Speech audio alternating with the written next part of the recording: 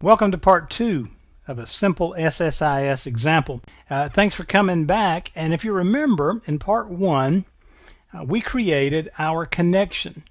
And so in our data flow task here, remember we dropped the data flow uh, task onto the control flow tab. And then if we double click the data flow task, or we can just move to the data flow and choose that particular uh, task from the drop down, and we only have one there.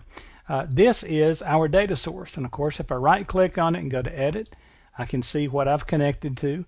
I've connected to the AdventureWorks 2012 database. I'm accessing a table. And notice the icon table, Human Resources Department. So now, I've already said I want to take the data that's in that table and, and uh, pump it out or, or move it to a flat file, a text file. Okay? And so what I'm going to do now is choose a destination. Notice other destinations. And I will choose a flat file destination. And so I will drag this on. Now I want you to notice what I'm going to do here. Uh, I'm going to click this and you'll notice there are these two precedence indicators, constraints, whatever you want to call them. And I don't want to discuss them a whole lot right now, okay? But I just want to take this left one here, this blue one, drag it down to the file destination and let it go. Now this is telling me that data is going to flow from here to here. But by connecting that, it allows this to see up into this table. Okay, so what I can do now is right click and edit my flat file destination.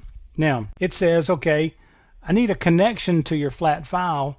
Do you have one? And I'll just create new and create one.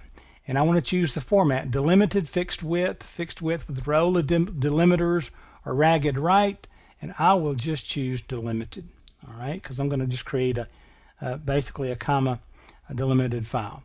Now it says, okay, what file name? Well, I don't have one, but uh, I do want to put one out on the desktop, okay? And so I will click desktop and uh, see if I have any.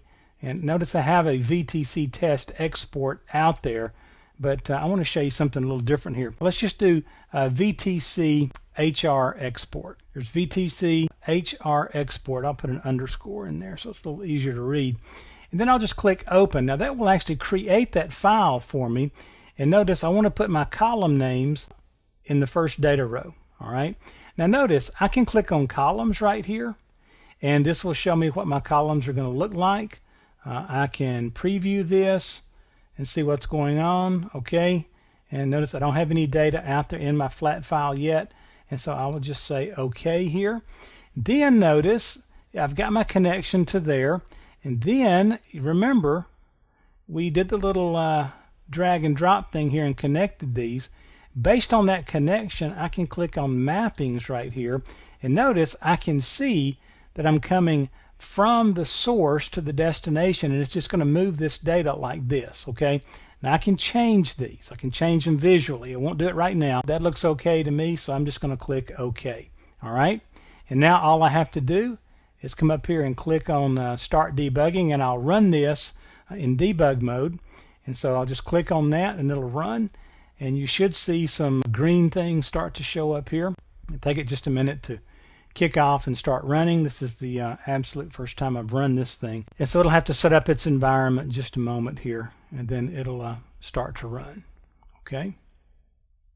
Notice we got two check marks. All right. And uh, I'm going to let these go away right down here. Okay, for now we don't need to see these. But I can see output.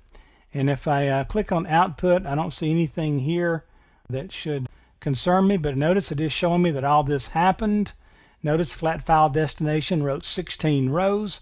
And uh, what I'll do now is minimize my data tools environment. Here's my VTC HR export. I'll double click that to open it and notice there are my 16 rows. Notice the top row are my uh, column names and then I'm comma delimited data on the rest of it. Okay, pretty cool stuff. It's really that simple. Now obviously we can get a lot more complex with this but what I want you to remember here is that it really is all based on this. Now I'm going to stop this package. We're still running in debug mode. Now I want you to notice something. This is a data flow and this is the control flow. So notice all that stuff is going on. All of this stuff right here, these steps are going on inside this data flow task, okay?